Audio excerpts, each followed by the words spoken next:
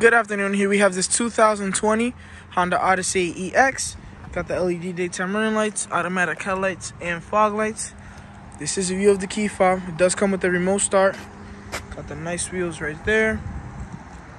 Keyless entry is equipped. It Stick your hand right here. Vehicle will unlock for you right there. You got the powered seats in the front. You also got the Honda sensing and electronic side doors that open like this.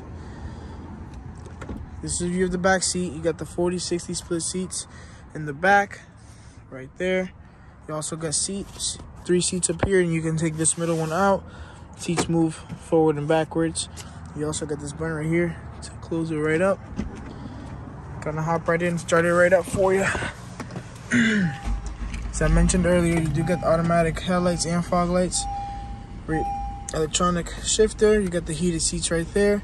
CarPlay and Android Auto is equipped in, as well as the backup camera and Bluetooth. Gonna go to the trunk, show you some features there. Pop this right open for you.